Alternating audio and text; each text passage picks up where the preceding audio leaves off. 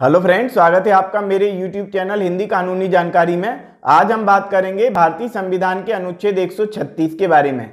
यदि आप भारतीय संविधान से रिलेटेड पिछला वीडियो देखना चाहते हैं तो आप यहाँ पर क्लिक करें। यहाँ से आपको भारतीय संविधान का पिछला वीडियो मिल जाएगा। हम बात करते हैं भारतीय संविधान के अनुच्छेद एक सौ छत्तीस के बारे में। ये कहता है, अपील के लिए उच्चतम न्यायालय की विशेष इजाज़त।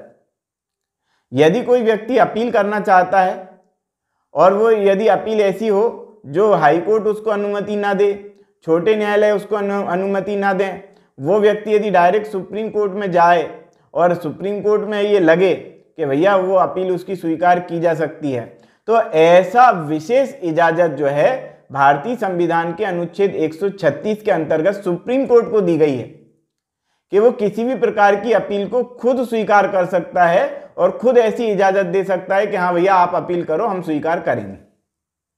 तो ये विशेष इजाज़त है और विशेष इजाज़त के लिए भारतीय संविधान के अनुच्छेद 136 का प्रावधान किया गया।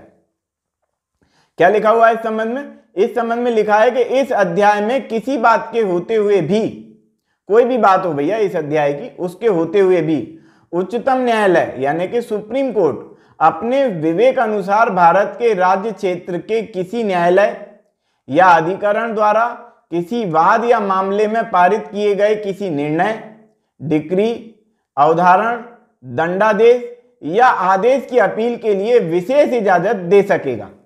वो ये नहीं कहेगा कि साहब, हमको तो कोई पावर ही नहीं आप तो नीचे से आओ तो फिर अपील करते हुए आओ तो फिर करने देंगे आपको अपील। ऐसा नहीं। डायरेक्ट सुप्रीम कोर्ट को विशेष इजाज़त देने के लिए भी यहाँ पर भारतीय संविधान के अनुच्छेद 136 में प्रावधान कर दिया गया है कि भैया, यदि कोई व्यक्ति अपील करना चाहे तो उच्चतम न्यायालय यानी सुप्रीम कोर्ट की इजाज़त, विशेष इजाज़त के माध्यम से भी अपील कर सकता है। पॉइंट नंबर दो कहता है कि खंड एक की कोई बात सशस्त्र बलों से संबंधित किसी विधि द्वारा या उसके अधीन गठित किसी न्यायालय द्वारा या अधिकरण द्वारा पारित किए गए या दिए गए किसी निर्णय, अवधारण, दंडादेश या आदेश पर लागू नहीं होगी। यहाँ पर यह समझाने का प्रयास किया गया कि भैया सुप्रीम कोर्ट जो है विशेष इजाज़त के माध्यम से भी अपील स्वीकार नहीं करेगी सशस्त्र बलों से संबंधित मामलों में। सशस्त्र बल के क्या होता है? देखो, जैसे कि भारत की फौज है, भारत की सेना है, भारत की सेना के माध्यम से किसी जो है दुश्मन देश के किसी व्यक्ति को पकड़ लिया गया, किसी सैनिक को पकड़ लिया गया।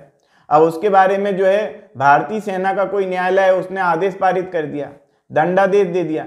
तो ऐसा कोई व्यक्ति जो है सुप्रीम कोर्ट में आकर के अपील के लिए इजाज़त नहीं मांग सकता। ऐसा तो सुप्रीम कोर्ट करेगी भी नहीं।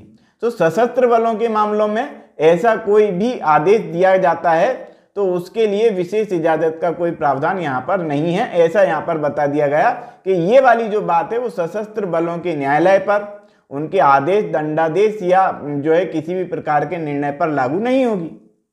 तो आज की वीडियो में हमने अध्ययन किया भारतीय संविधान के अनुच्छेद 136 के बारे में। यदि आप भारतीय संविधान से रिलेटेड अगला वीडियो देखना चाहते हैं तो आप यहाँ पर क्लिक करें। यहाँ से आपको भारतीय संविधान का अगला वीडियो भी मिलेगा। सीआरपीसी आईपीसी और भारतीय संविधान के संपूर्ण वीडियो यहीं से आपको मिल जाएँगे। तो आज की वीडियो में इतना ही।